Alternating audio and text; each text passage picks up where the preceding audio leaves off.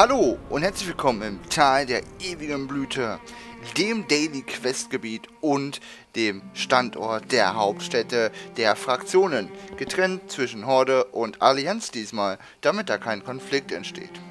Es sind keine großen Hauptstädte, beziehungsweise nicht so wie Dalaran, so riesengroß aufgemacht oder Stormwind oder Orgrimmar. Nein, diese Städte sind ein wenig kleiner. Ich möchte auch gar nicht so viel über dieses Gebiet verlieren, weil es ist halt wirklich ein Level 90 Gebiet, das nachher gespickt ist mit Daily Quests und es man es eigentlich auch erst erreichen kann, wenn man fliegen kann. Beziehungsweise man kann es über diese Mauer über erreichen bereits schon, aber am besten ist es halt per Flugmond zu erreichen, so wie wir das ja auch gerade tun, um diese Videoaufnahme zu machen. Man sieht schon, es ist alles so ein bisschen im Herbststyle hier gehalten. Ist so, auch wenn man im Hintergrund hört, die Musik ist einfach super gut dazu gemacht worden, also klasse. Wie auch die anderen Gebiete natürlich immer schön im Pandaria-Style gehalten, also in dem asiatischen Style.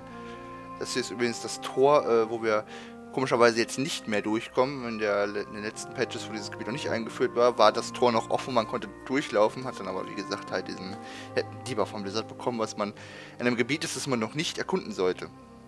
Tja, und mehr gibt es ja eigentlich auch nicht viel dazu zu sagen. Es gibt ja heute auch eine Instanz, manche eine Heroik-Instanz, die ich äh, euch versuche in irgendeinem anderen Video auch mal irgendwann mal zu zeigen, aber man kommt trotzdem als Spieler lange Zeit nicht rein und es dauert immer relativ lange und dann löst sich die Gruppe meistens leider auch immer wieder auf. Tja, gespickt mit so kleinen Seen ist es echt ein schönes Gebiet, wo man auch wirklich als Angler sich irgendwo hinsetzen kann und einfach mal in Ruhe chillen kann und die Angel raushängen lassen kann und der schönen Pandaria-Musik lauschen kann. Ja, jetzt kommen wir auch zu den beiden Hauptstädten. Hier ist einmal das große ja, große Gebäude, sag ich mal, da ist auch die Instanz drin da oben. Ich glaube zumindest, dass es eine Instanz ist. Ich meine nicht, was es eine Raid-Instanz ist. Es ist auf jeden Fall eine Instanz. Hier sieht man die Horde-Hauptstädte, natürlich gespickt mit den Horde-Bannern, ne? Und auf der anderen Seite, in dem Sinne, die Allianz-Basis. Es gibt, jetzt kommt das Beste überhaupt, auch ein Auktionshaus. Man muss nicht mehr in die alten Städte zurück. Es ist ein Auktionshaus in der Stadt endlich verfügbar. Und auch alle Berufe. Ich habe jetzt auch noch nicht geguckt, äh, es ist noch nichts gefunden, wo man die Tokens wieder umtauschen kann, ob man dann wieder wirklich in die alten Städte muss. Äh, bin ich mir jetzt noch nicht sicher.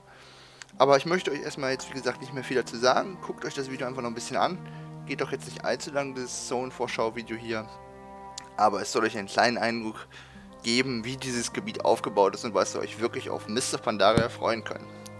Das ist dann, wie gesagt, das letzte Gebiet, was eigentlich dann kommt, wo du dann mit deinem 90er rumquestest und dann auch deine Fluglizenz kriegst, die du natürlich wieder brauchst, die du erst ab 90 wieder bekommst. Und ja.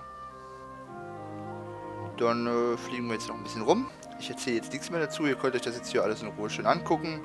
Und ja, ich hoffe, euch gefällt das Gebiet. Könnt ihr mal einen Kommentar drunter schreiben. Vielen herzlichen Dank. Euer Sanchez. Tschüss.